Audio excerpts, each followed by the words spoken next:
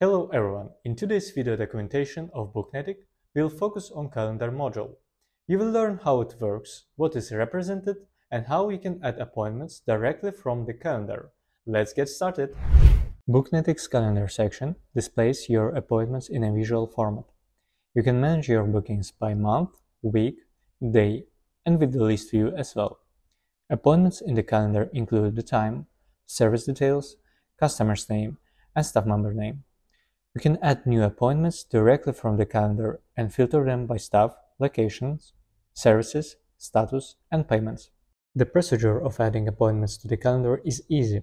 Select the date for appointment and click on the plus sign. This will open a pop-up window to add the appointment's detail. In the pop-up window, you will enter the necessary information for the appointment.